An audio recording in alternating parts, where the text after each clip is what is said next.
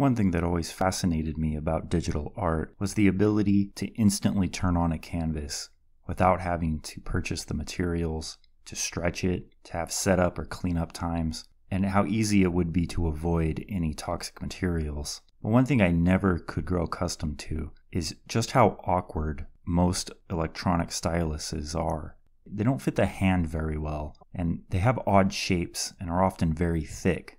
They're just awkward to use. So I set about to make my own copper paintbrushes that feel more natural. It's just copper tubing with conductive thread as the bristles.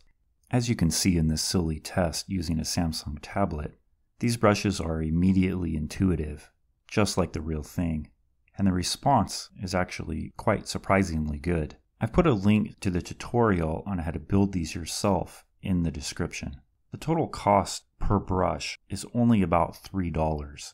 This channel is all about revealing the techniques and methodologies of art making in the most open and accessible way possible. If you found this video helpful or interesting and you would like to see more in the future, please consider subscribing. We really appreciate it.